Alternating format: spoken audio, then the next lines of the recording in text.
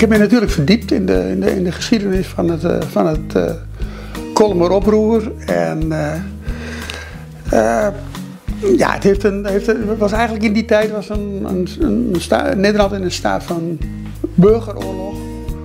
De mensen van de, van de nieuwe tijd, van de idealen van de Franse revolutie, tegen de mensen die het wilden houden zoals het was. Het beeld mag absoluut niet, niet uitdrogen. De klei die moet die moet uh, zacht blijven, anders zou die scheuren. En die klei die is gemonteerd op, op een heel inwendig skelet van ijzer en houtjes en ijzerdraad.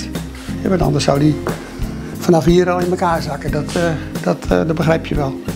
Nou, wat ik, mij, wat, wat ik wil zeggen met het beeld is dat elk oproer, hoe, hoe gerechtvaardigd wellicht ook, uh, uh, gewoon ook nog wel zijn andere kanten heeft.